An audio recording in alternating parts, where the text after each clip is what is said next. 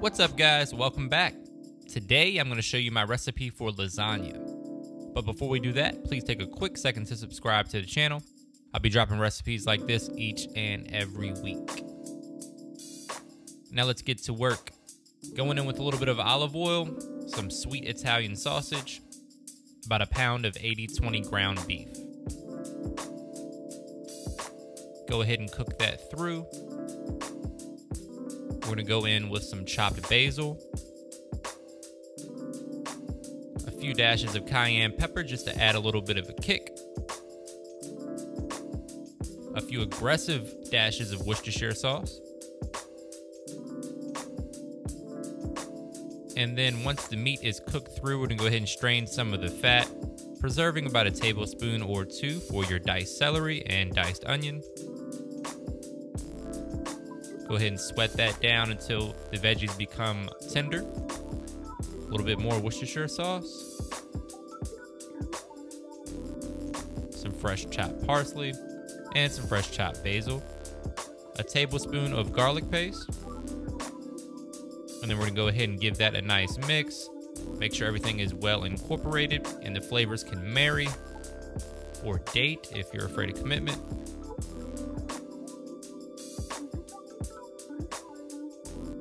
Now we're gonna go ahead and deglaze the pan with some delicious red wine.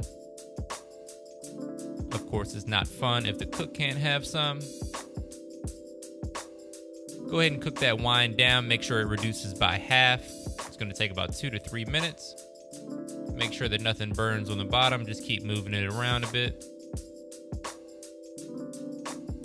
The wine adds a lot of flavor, but it's definitely optional.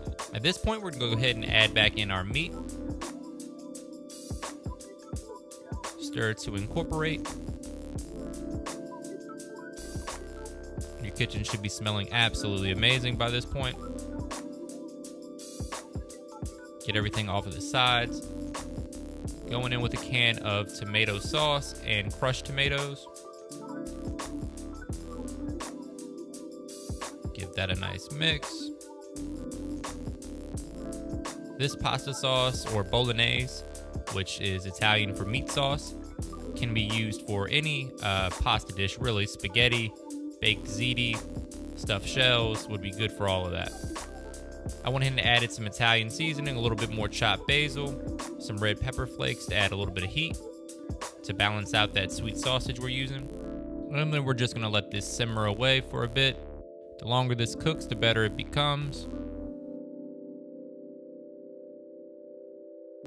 At this point, you wanna bring it up to a simmer Add about a quarter cup of heavy cream. It's gonna add a nice richness to the dish.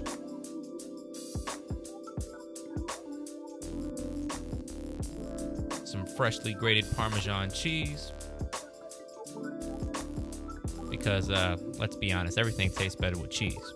Then we're gonna go ahead and cover that, let it simmer for one to four hours.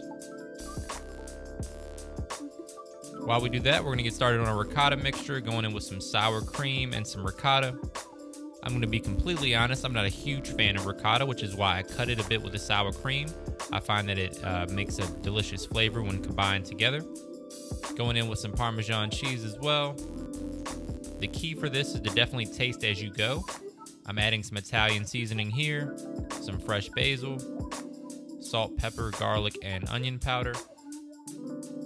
Make sure to taste this before you add your one egg that my cameraman forgot to include in the edit you can kind of see it in there right now. The next step is to chop up some fresh mozzarella. We're going to dice that into bite-sized pieces that we're going to layer throughout the lasagna. Some nice cheesy chunks.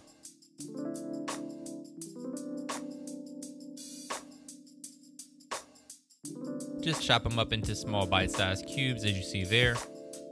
Then boil your lasagna noodles. Check on your pasta sauce. And now it's time to make lasagna. Go ahead and ladle a thin layer of sauce at the bottom. And then make sure that your lasagna noodles fit your, your pan that you're using. One layer of noodles, another thin layer of sauce,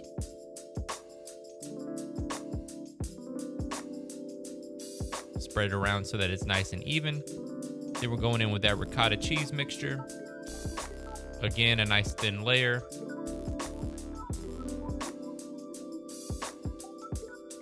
Spread it around as you see here. Make sure it's nice and even.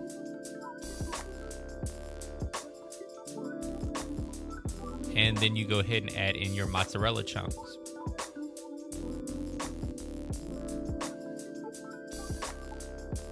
And then we're going to repeat this process until our lasagna pan is full.